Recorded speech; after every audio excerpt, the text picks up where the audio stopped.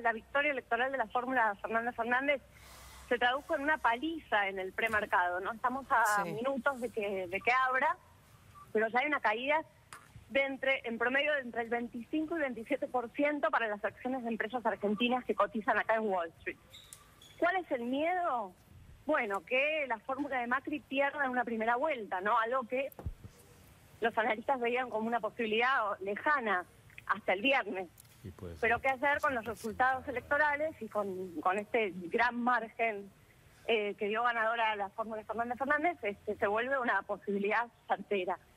Las palabras que se manejan acá son pánico, shock, un poco porque, bueno, el miedo este se repliegue de nuevo a Argentina sobre sí misma, que hace un aislacionismo, o sea, que, que se alejen de las políticas pro mercado de Macri. El mercado tiene, tiene temor, es así.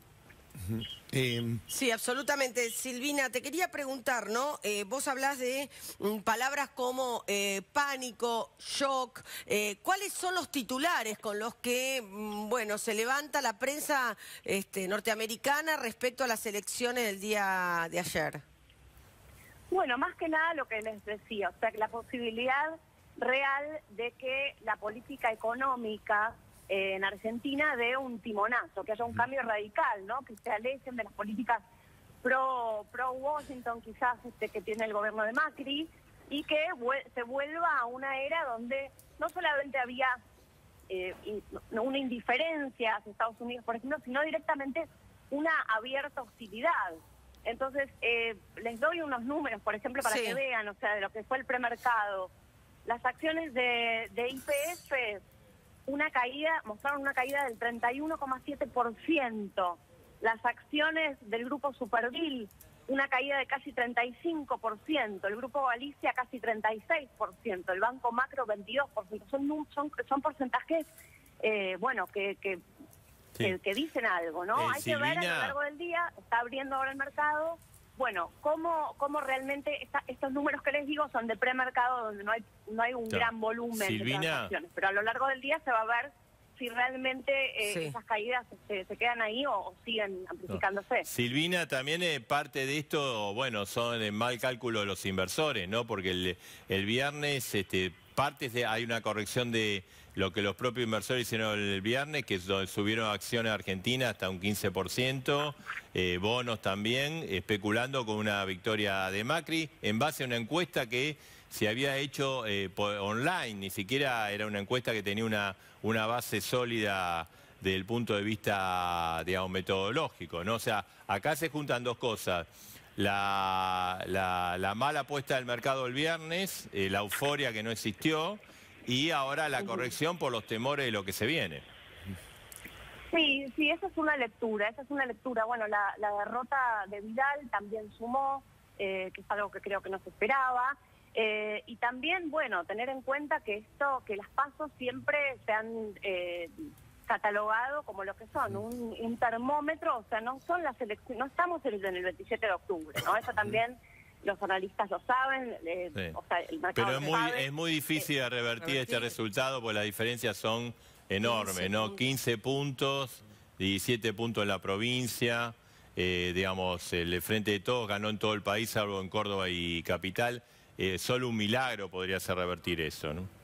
Sí, acá ya les digo, o sea, lo que, lo que se teme es eso, es que este fantasma de volver a un control de capitales, a una Argentina que se mira el ombligo y como aislada del mundo pueda, pueda regresar. Eh, em, hay que ver qué sucede, eh, como les digo, en tiempos de Argentina, de acá al 27 de octubre, eh, es bastante, no acá en Estados Unidos, pero sí en Argentina.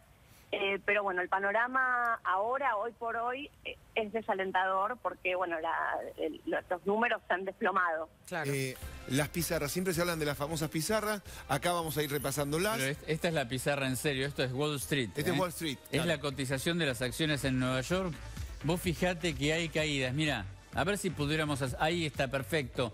El banco francés, las acciones caen 57% el Banco Marco 48, Central Puerto 56, estoy salteando, ¿no? Sí. Em, Eh, IRSA 39, casi 40, Pampa 51, Tenaris, es la que menos cae, 3%, IPF 28%.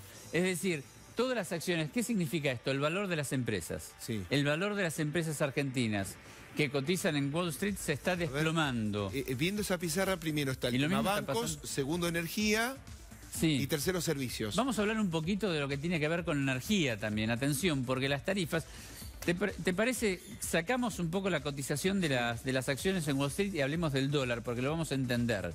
A ver, un dólar subiendo, un dólar que ahora está en 61. ¿Cuáles son las consecuencias que trae inmediato para la gente? Y marcar insumo para extraer o aprovechar energía. Remarcar insumos, en general, se puede volcar inflación, tarde o temprano se vuelca inflación, pero además, en materia de energía, las tarifas son tarifas dolarizadas. Claro. Hasta ahora, hasta ahora, cuando nosotros vinimos pagando tarifas más altas durante estos años, estas tarifas tan altas que vinimos pagando, que se sacaron los subsidios, todavía queda por bajar un 30% del subsidio. Pero si la tarifa está dolarizada, la meta a alcanzar se aleja. Es decir, también va a tener repercusión el dólar en inflación, un dólar alto, y va a tener repercusión en tarifas, tarde o temprano. Con lo cual, este dólar alto, de alguna manera, el gobierno en este periodo de transición tiene que tratar de calmarlo. Ahora, ¿por qué la toma de ganancias en los bancos, por ejemplo? Veíamos que las acciones que más caían eran las de los bancos. Las acciones que más caen son las bancos porque en el momento, a ver, subieron el, el viernes. El viernes, entonces ahora está dando el proceso inverso. Se sabía que se iba a dar un proceso inverso, no con esta magnitud. No con la magnitud de un desplome que te llega al 50%, pero además con un resultado electoral que parece irremontable, Guillermo. A ver, ah, rápido nos está llamando Silvina Stein Pencil desde mm, Estados Unidos. Bueno, eh, veíamos las pizarras de Wall Street. ¿Qué información puedes agregar, Silvina? Bueno, lo que, lo que vienen diciendo acá los analistas es que realmente eh, el resultado este generó pánico, ¿no? Y lo, lo vemos con los números, o sea, con un desplome en picada de las acciones de las empresas que argentinas que cotizan acá en Wall Street, estoy ahora mirando casi un 56% del grupo Galicia, o sea, es realmente, eh, bueno, los mercados hablaron, ¿no?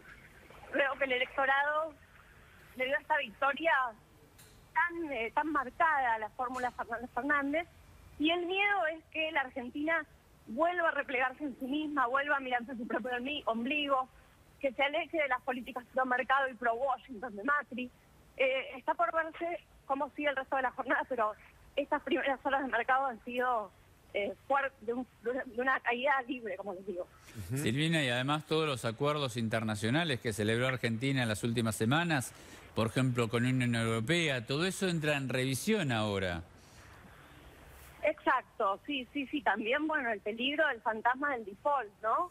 Eh, o sea, como les digo, hasta el viernes pasado se creía que, bueno, el, digamos, la fórmula de Macri quizás tenía que pasar por una segunda vuelta, pero nadie avisoró estos resultados con esta diferencia tan marcada y eso acá en Wall Street se está viendo eh, con estos números que están en rojo profundo, en un rojo de shock.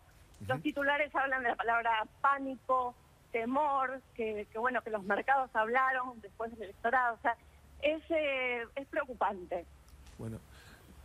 Eh, Silvina Sterimpense, quedamos atentos. Después volvemos contigo. ¿Cómo no? Acá estoy.